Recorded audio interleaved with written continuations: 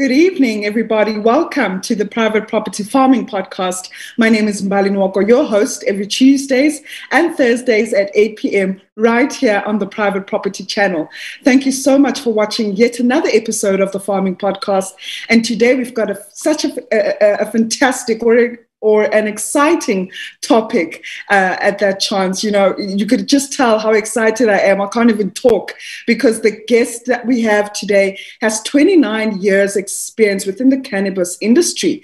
And it seems like cannabis has just been around um, for about three or two years. You know, it's such a common buzzword of late. And it's quite interesting to know that there's a person who's um, dedicated almost three decades of his life or his career in the cannabis industry. And today we're talking about licensing cannabis in South Africa. So you if you have an interest about cannabis farming or have heard about cannabis farming and just um, you know quite didn't understand how do you start cannabis farming and how do you license it? How do you trade? Well, I think today's topic or episode is the right one for you. We are approaching episode 90, and I believe today's episode 89.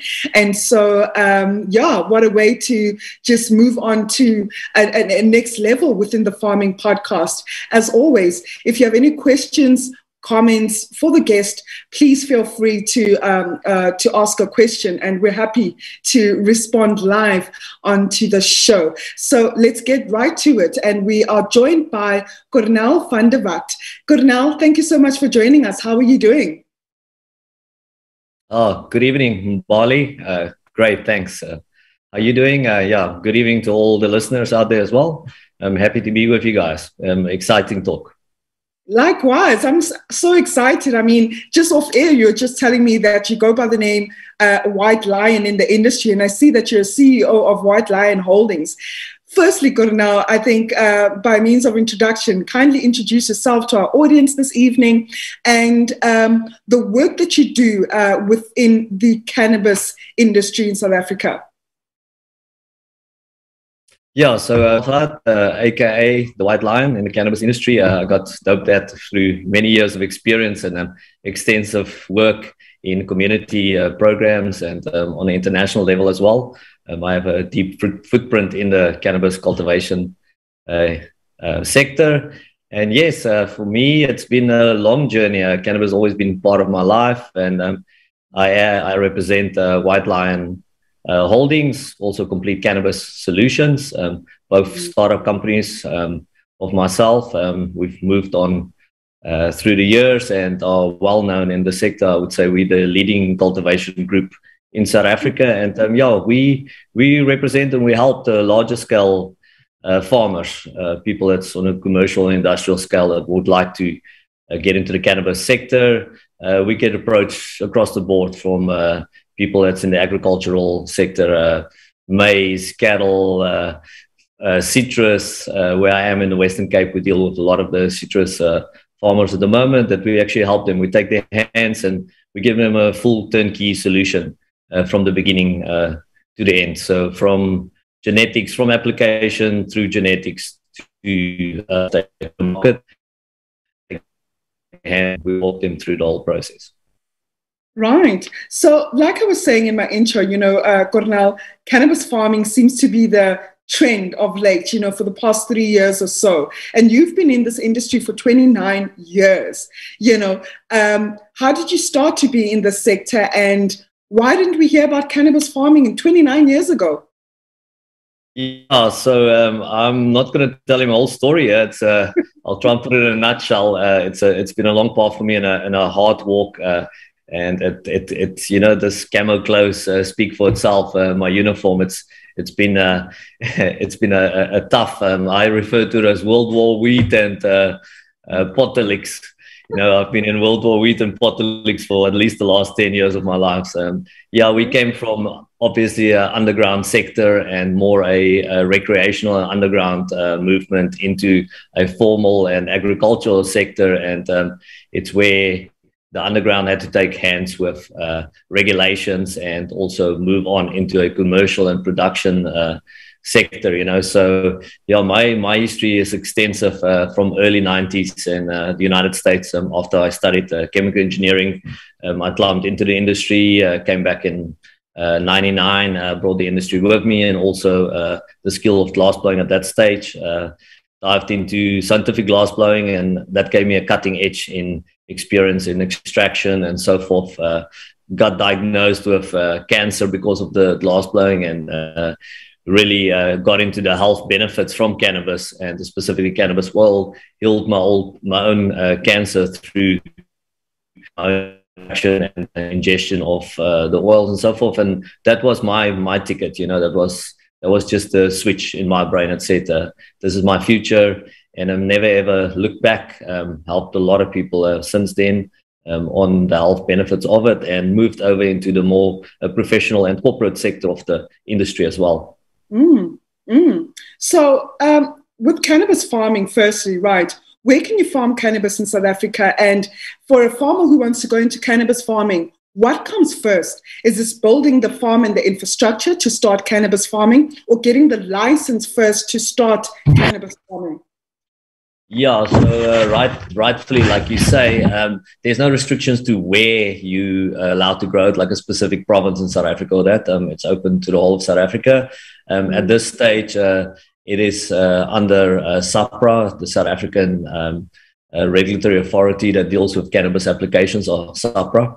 And um, yeah, it's a it's a license application to cultivate, manufacture, import cannabis for medicinal purposes and it's application process that you follow um, there's a little bit, you can say, for all situation, in Lesotho as well. So you can put a license and you can get going. In South Africa, you have to go through quite a, a tedious process um, of establishing uh, your facility first and laying the capex out as well. Uh, so there's clear guidelines from SAHPRA on how to comply uh, with the, the compliance for getting a license. And the compliance is exactly that. It's uh, putting up a facility, um, having the land to do it on, uh, all the infrastructure. Um, I the the the cultivate the the application itself is is quite a, a simple process. It's a form that you fill in, and um, it's a twenty three thousand eight hundred rand uh, fee. The last time I checked.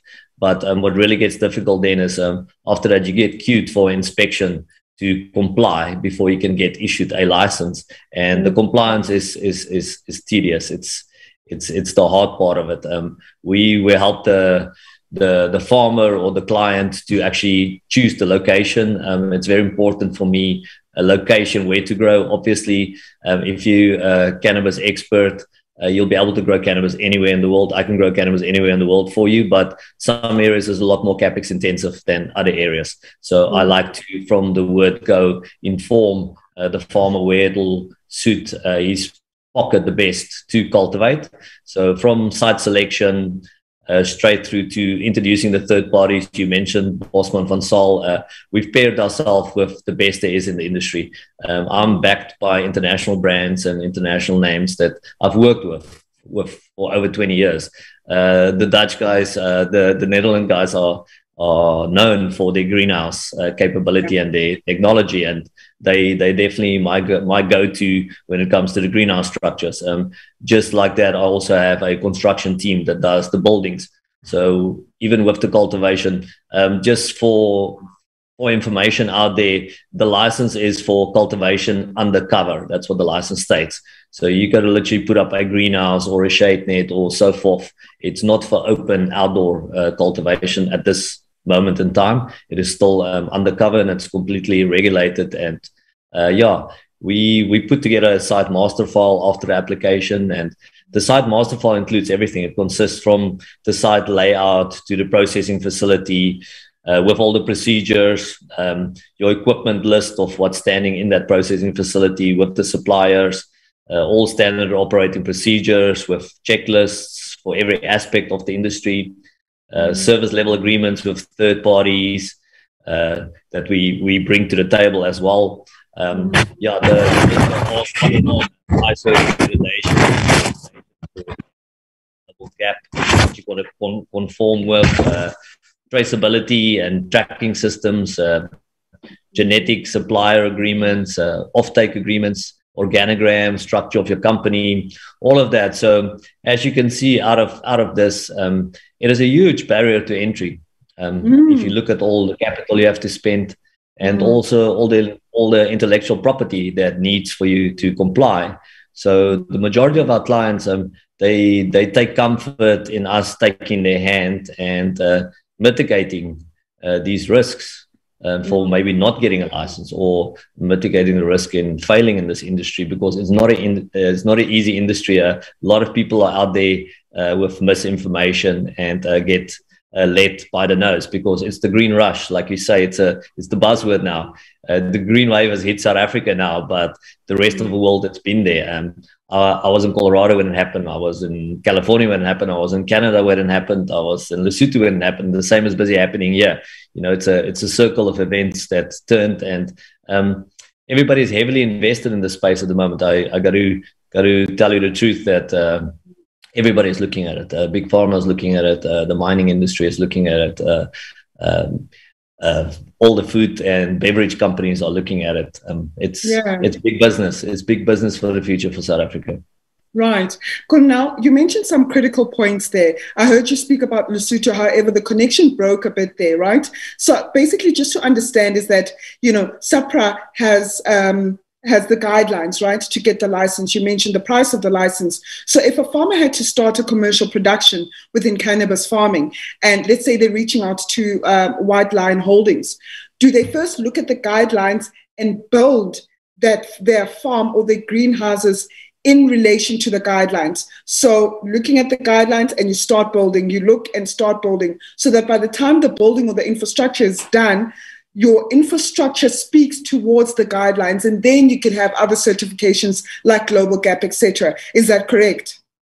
Correct. You're hitting the nail right on the head there. Um, so that's that service that we provide. So we literally take the hand and uh, we guide them through those guidelines by putting up the facility for them and doing all the paperwork for them and the site master file and then help them to get that license and we can talk about the time frame as well and so yes. forth on how long the process takes so um, a lot of people, like I say, there's people that say that will run around and say, "Oh, you you can you can put up a loop house, a vegetable loop house, and you can put a two by four." Uh, uh, poles and a shade net and you're ready to go but it's not the fact um, security is it gets scrutinized uh, you got to have access control you got to have uh, anti-climbing uh, fencing 2.4 meters high. You got to have cameras. Uh, you got to have biometrics on the doors. Um, security is a big aspect of it. Um, just because of the the the nativeness of cannabis, you know, um, we we're dealing with a formal sector here, and it falls under the health sector, and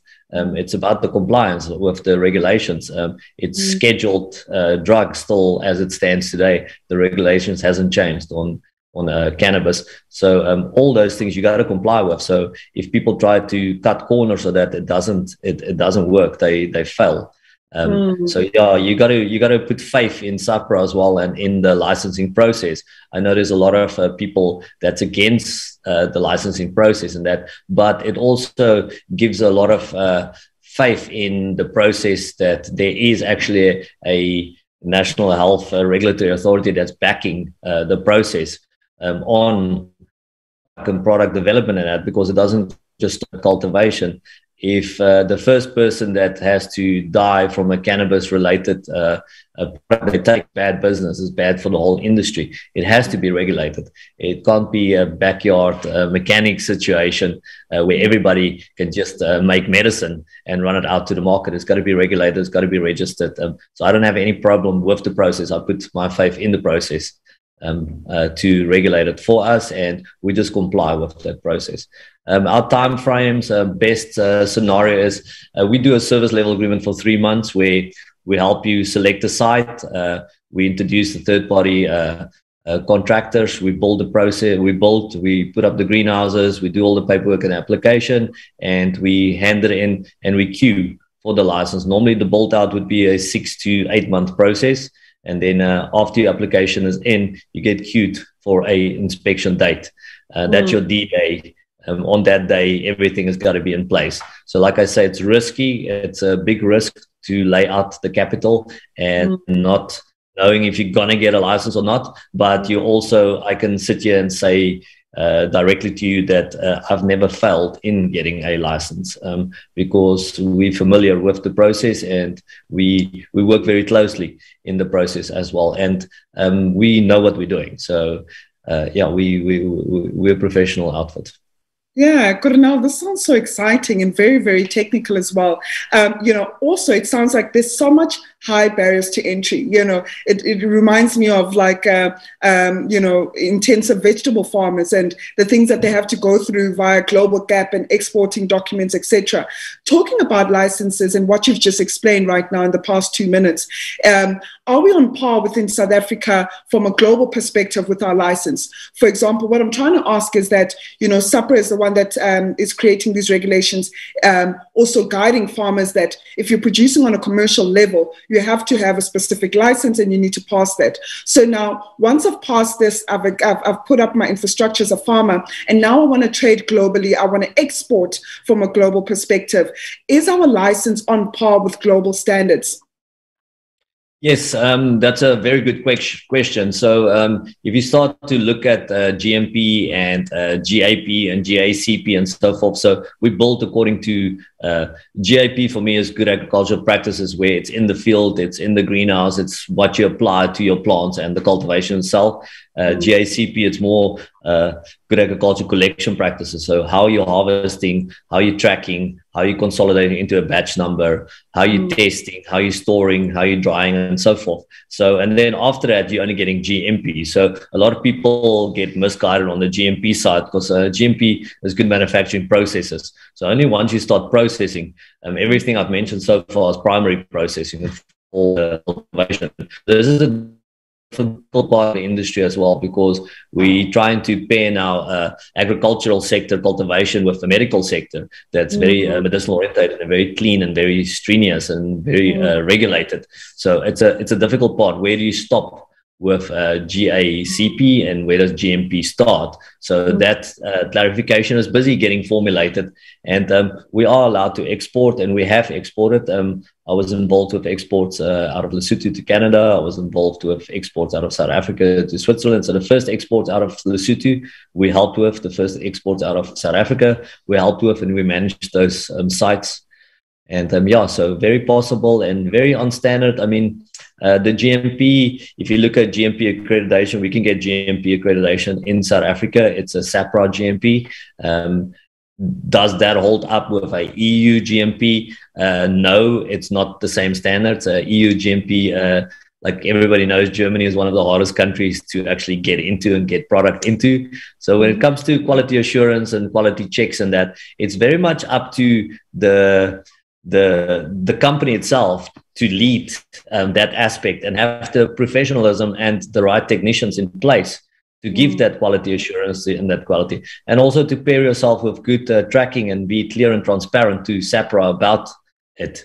You know so it's got to be a two-way street um, on on communication Right. We have a comment here, uh, Cornel, from JB, and they're saying there's so much blurry information out there. So it's really great to hear this information from you, Cornel, and uh, right. which is a great comment because it's nice to know that, you know, uh, it brings so much comfort speaking to someone who's very uh, experienced in the sector. And I know you all, uh, you are focused on a, a commercial or a business uh, scale with regards to cannabis production. But as a regulatory body and as an industry, how do you then manage what people are growing in a in a commercial farm that has a, a, a, license versus what people are growing in their own individual households? Because I think the law in South Africa is that you can grow cannabis or consume cannabis, but within your own uh, you know private uh, space. So how does one as an industry or as a body, how does one uh, regulate uh, the two different um, uh, cannabis production, especially where health is concerned? Sure. So, um, like I said as well, um, I like I'm sitting here. I, I, I have background of working with communities and community upliftment, and I I am a Rasta as well. So the dreadlocks here at the back speaks for itself. So I'm not against uh, people growing small scale or growing for themselves at home. There's nothing wrong with that, and and I suggest to everybody to be growing cannabis. It's a it's a it's a connection that you have with a plant, and I've got a deep connection with it. It's a spiritual plant, and um, yeah. it helps you in many aspects in your life.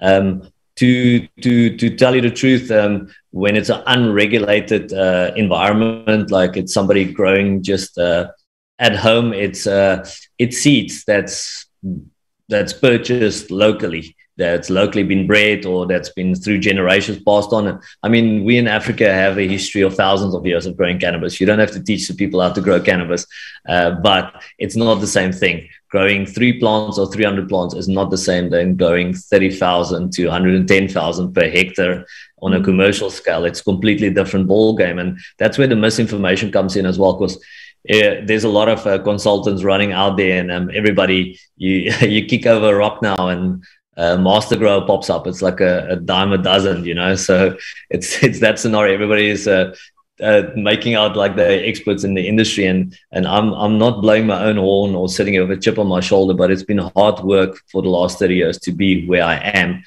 and um, it, it comes with respect and, and and knowledge and I mean you you learn through hard knocks uh, farmers will tell you that as well it's not easy to farm uh, mm-hmm. anybody that says to you it's easy to farm, and it's very similar to citrus, just like you suggested as well. Uh, so moving on from home scale uh, growing or personal uh, use to a commercial scale, uh, you got to track everything. And we mm. we bring in, uh, like I said, I mentioned to you, we get a genetic supplier agreement, and we bring in the genetics that's registered with the International Seed Bank. It comes in with a phytosanitary certificate into the country, and it's declared at customs that it came in. So it's inspected that you're not bringing any microbials or or fungus or anything into the into the country. So that's where it starts. Then you're multiplying that uh, genetics through uh, cloning or through tissue culturing to get a homogeneous uh, crop. Uh, the big part of this industry is to have a constant, uh, large volume, uh, clean, high high end product supply. It's similar to the citrus. I mean, our top grade citrus gets exported. We don't see it on our shelves. we see the choice grade. You know, that's on checkers and Pick n Pay. Now it's very similar with cannabis. You know that that top end market is not here. Uh, mm-hmm. It's it's a it's a market that's international for um, medicinal uh, purposes, and that's where the money lies as well. So for mm-hmm. me, it's um, I, I, want everybody to grow. It's going to open up. There'll be hemp permits that's being issued as well. Um, I know there's a bill that's at Parliament right now that's getting uh, ready to be passed. Uh, we hope uh, for the near future that there'll be cannabis clubs and cannabis dispensaries and it's open and that's the local market. So that's that local production. That's not my field uh, like i pointed out to you. Um, mm. I, I deal on the larger uh, scale uh, mm. uh production uh, for export uh, specifically. But yes um, i hope that answers your question. So it's genetics it's phytosanitaries it's traceability straight back to the source barcodes on every single plant with scanners on a software if a regulatory authority or even uh, uh, uh, security walks in, you can give them a scanner gun, and it doesn't matter if it's a plant or a cutting or product in a fridge. If they scan that barcode, it'll be clear, transparent, the history of it, when it was planted, where it came from, and where it's going, when it'll be harvested. So everything, everything's tagged. Awesome.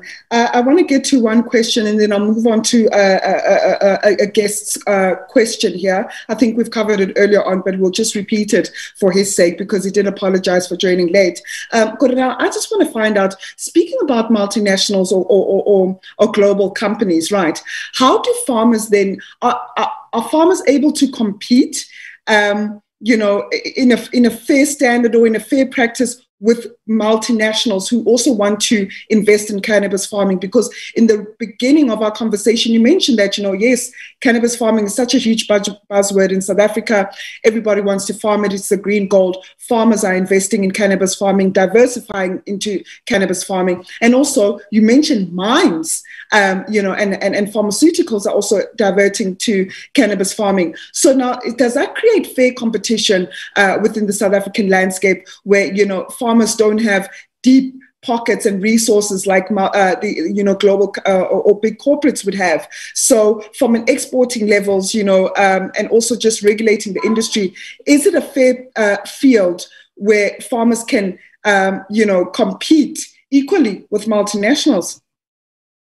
Uh, yes, I would say it is. Uh, for me, um, yes, there's a big barrier to entry and it's the deep pockets, it's the corporates that's uh, leading the industry. But um, at the end of the day, like I say to you, I've, I've been in many uh, areas in internationally where this has taken place. And at the beginning, it's uh, it's everybody jumping on the bandwagon. Like I say, it's it's it's pharma, it's the breweries, it's the mining industry, and so forth. But uh, three to five year into the industry, it stabilizes. Uh, we two years in now since first licenses have been issued in South Africa. So we're mm-hmm. still sitting on the snake's head, so if I can put it that way, uh, where everybody's jumping on a bandwagon. And at the end of the day, it's an overinflated uh, uh, situation where the bubble bursts. And the guys that really know what they're doing, there'll be 10 to maybe 15 larger scale uh, um, producers that controls that area of production that I wouldn't say monopolizes it, but that that that controls that. It's the same with the citrus industry. You know, like you you have lots of many small scale farmers that produces for a packer maybe, and yeah. um, that ties in with the shipping aspect of it as well. So where do you see yourself in the industry? A lot of people there's so much scope in this industry. I cannot uh, start to tell you that uh, cannabis touches every single industry that you can name.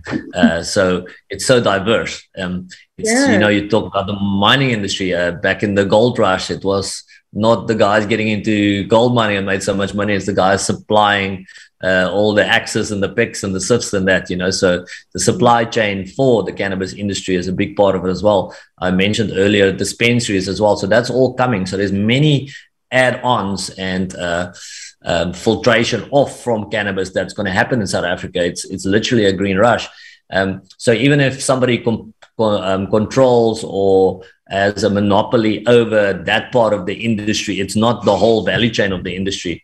Uh, products on the shelves, uh, local products, uh, logos, brands, and, that's all going to happen. We're going to start um, seeing a lot of brands uh, popping up um, on our local market and for international export as well. So when it comes to product formulation and product development and uh, all of that, I can like you can hear I'm passionate about what I'm doing and I can go yeah. on about it ever as well for you know um, but yeah for me it's it's a massive industry that's here to stay i would like to see a bigger uh, conventional banking and so forth uh, opening up uh, for the sector as well so the farmers are not struggling to to to have that big barrier to entry on the capital. Maybe land yes. bank open up to all the farmers. You know, um, I would like to put that out there uh, to help fund them on it and uh, mitigate uh, that risk. Um, insurance on the crops. You know, we got to look at all these things in the future. Uh, we don't have it in place yet. Um, it's mm-hmm. coming. I'm glad you mentioned the topic about finance because we've got a question here from Bongani Master Terence who says, Sorry I'm late, but did you cover the cannabis license costs for a startup. And I believe you did. You said about the license is about 23,000 uh, or so. Is that correct? Correct. 23,900 Rand, 800 Rand. Last time I checked uh, with SAHPRA, but that's only for your license application to go in. That doesn't mean you get a license. Uh, the compliance is the big part of it. Like um, I mentioned, that's the hard part of it. Um, I'm not going to lie to you. Um, you're talking, you're talking big bucks. It's, uh, it's yeah, people out there. There's all kinds of figures out there. Um, I honestly, uh, 35 million rand for me uh, touches the the bottom end of uh, production and you're not talking big scale production you're talking about half a hectare of production because of the high tech greenhouse that we put up but it gives you the capability to grow all year round doesn't matter what happens on the outside so we control the whole environment uh, conventionally you would be planting in spring where we're sitting now in september and you'll be harvesting end of march april that's one crop for the year, but you're open to contamination and to spray and to cross pollination and and uh, uh, uh, and a lot of headaches, a lot of heartaches uh, that comes with farming. Where uh, in a greenhouse situation, a controlled environment, you don't. You're controlling the photosynthesis on the light cycles. You're cutting the light cycles out. You're controlling the humidity. You're controlling the fertigation, irrigation, and um, everything that goes with it. So in that uh, we dictating to the plants when to flower and how to flower. And by super cropping and so forth, we upping production as well. We're not growing massive plants, you're growing smaller plants in smaller cycles. So uh, we do six to seven harvests a year compared to one harvest conventionally. So yes, you're spending the big bucks and the capex and there's that massive barrier to entry, but your production is up and your consistency is there and your quality as well because of the environment you're doing it in. Yeah, I think we might have to have you back, Cornel, just to talk about the technicalities around production because I'm hearing 35 million just only for half a hectare. Wow. Right. Like, I mean, I, what could I do with just 35 million? There's so many farms I could build, you know. And here we're just talking about a half a hectare. So it sounds quite expensive. Not sounds, it is very expensive. Yeah. And then you must still go through all the loopholes or sorry, the, the, the high barriers to entry from a licensing perspective. But going back to licensing, just how often does one have to um, uh, keep up with their license? You know, do you get a license yearly or does it last for five years etc maybe just explain how you know for how long do you have the certificate for to trade?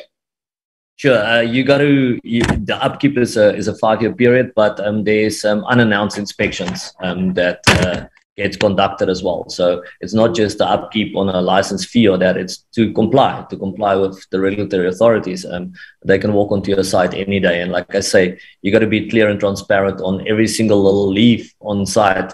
So we track everything. Uh, when we do destalk, uh, we we track the stalks. When we de-leaf, we track the leaves. Uh, when we we take moisture content out, when we dehumidify, uh, we weigh wet weight, we weigh dry weight uh, everything gets tracked because uh, nothing uh, they don't want anything to end up on the black market. It's uh, it's mm-hmm. licensed and it's regulated you know so that's a big aspect of it. So if you hear about all the tracking and the weighing and the dehumidification and so forth all this equipment is costly. So that 35 million rand goes towards it's not like you think just buying a farm or that it's actually to set up the building to control the environment to have the access control on it and um, all the equipment that goes with it, and the capability and the salaries and so forth. So um, yeah, we we do a proper finance module um, as well in our consortium. So yeah, I'm the practical guy and I look like this, but um, we have CFOs and that that uh, runs proper finance modules and that and predictions uh, for our clients as well.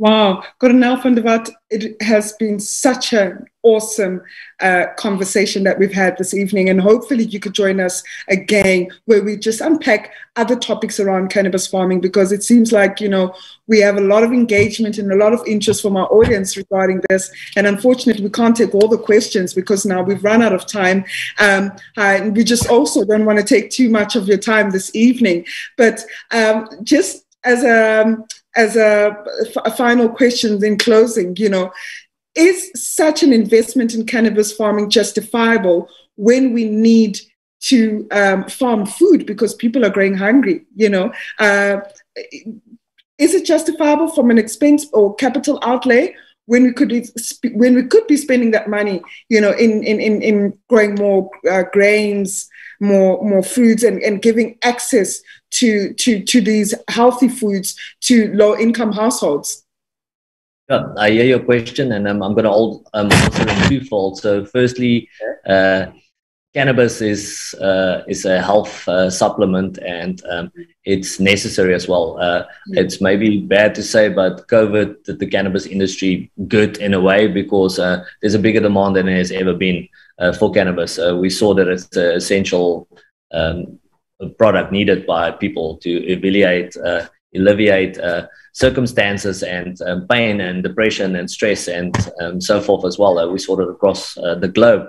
Um, so for me, it's not just about food; it's about having people's men- uh, mental health uh, just as good as their body health um, as yeah. well. And cannabis plays a big role in that and uh, for the local market to open up for local production and to have a fair access for local people to it and not just that massive uh, high end product that's uh, sitting on the shelves and high retail um, internationally is very important as well. So we're definitely going to have that where um, there is smaller communities and co-ops. Um, I've seen some of your previous podcasts about co-ops as well. Um, loved it uh, where communities work together and they take it to a central hub. I would suggest for the future where we have central processing uh, stations, and it doesn't matter how people bring it there. If it's uh, on a donkey or on a wheelbarrow or on a bucky or on a truck, uh, it gets graded like everything else that gets graded, you know, and it, yeah. it, falls into a category. Is it for local consumption? Is it for the export market? And that feeds back to the people. So,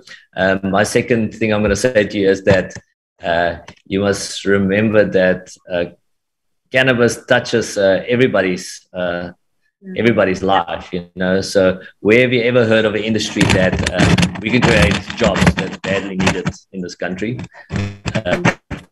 Um, give investment opportunity for foreigners that brings uh, uh, capital to our shores. Uh, everybody is here. The, the, Israelis are here. The Americans are here. The Germans are. Here. Everybody is here to grow cannabis on um, on our uh, in our country. So we're bringing uh, capital for investment opportunities to the country, and then we're helping people that badly needs it uh, as a health supplement to have access to it at a fair a, a, fair price locally, and then we're exporting and we're bringing forex back to the country. I mean, we we we're talking a, a magical industry here. I don't know too many industries that touches all of that. Yeah, yeah. Thank you so much for your time this evening, Cornel. Um, and um, yeah, it's been fantastic chatting to you. And it's great to know that, you know, there's individuals like yourself uh, locally that are so experienced in cannabis farming, a topic that we still need to explore quite extensively. And I like so many, I like the, the various uh, opportunities that you've mentioned, you know, about um, creating investment for, for cannabis farming, more technical expertise for cannabis farming, looking at around uh, the various ways around licensing and how can we create communities about around cannabis farming and also discussing uh, the importance of what cannabis can do for you from a health perspective. So thank you so much for your insights this evening. I thoroughly enjoyed our chat and um, yeah, I wish you a great weekend and a good Friday ahead. Thank you, Mbali. Likewise, it's been a pleasure. Absolutely. We were just speaking to Cornel van der, Vel, van der. If you missed our conversation this evening, please go straight onto YouTube and watch this farming podcast episode 89, where we discuss licensing around cannabis farming in South Africa. Cornel comes with a wealth of information, and I'm sure you just don't want to miss this. Hopefully, we could get get him back onto the farming podcast to discuss other elements and aspects around cannabis farming so that you at home are informed on the benefits, the pros and cons, why you should farm it from a from a uh, your own private uh, space or from a commercial space and what type of investment you're looking at um, um, when starting cannabis farming and the type of support that exists in South Africa right here locally. I think the key benefits here is that he said that cannabis could be grown anywhere, but a lot, um, a lot of um, um, time and patience is needed to understand how the production cycle works. Um, having a technical expert like Cornel to assist you in setting up a cannabis farm. He is the CEO of White Lion Holdings. And um, what I heard is that he also provides consulting services on how to start a commercial cannabis production. Uh, we will leave his details on um, the uh, uh, farming podcast in the specific episode. So reach out to him if you have any further questions and look out for all our social media platforms when we would have Cornel back onto the show. Hopefully he agrees. But thank you so much for watching and supporting the episode uh, this evening. Thank you to JB, to Bongani, and all the others that have asked questions. And unfortunately, we couldn't answer all of them tonight because of this limited uh, time frame that we're working under. But this is it for me. Have a fantastic Friday and a great weekend ahead. And I will see you next week, Tuesday, with another awesome guest at 8 p.m. Take care.